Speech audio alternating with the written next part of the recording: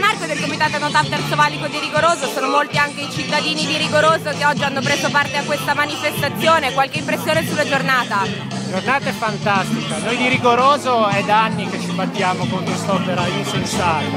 Quello che vorrei precisare più di tutto e che mi fa veramente piacere è la non violenza di questa manifestazione, perché ci accusano sempre di essere un movimento violento, invece qua ci sono di tutti, bambini, donne, anziani, fantastico, giornata bellissima. Perfetto, e appunto la giornata di oggi è un inizio, nel senso che Un è una tappa. è anche un proseguio, perché sono anni che cioè, questa, non nasce adesso questa battaglia contro quest'opera, saranno circa dieci anni ormai che ci battiamo.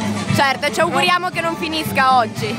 Ci auguriamo che non finisca oggi, anche se ci augurassimo che finisca presto perché vorrebbe dire che l'abbiamo vinta. Di sicuro noi non vogliamo, questo è certo. Anche perché ne va della nostra vita, del nostro territorio. Cioè. Perfetto, grazie mille, buona fortuna e buona manifestazione, ciao. Una manifestazione a tutti.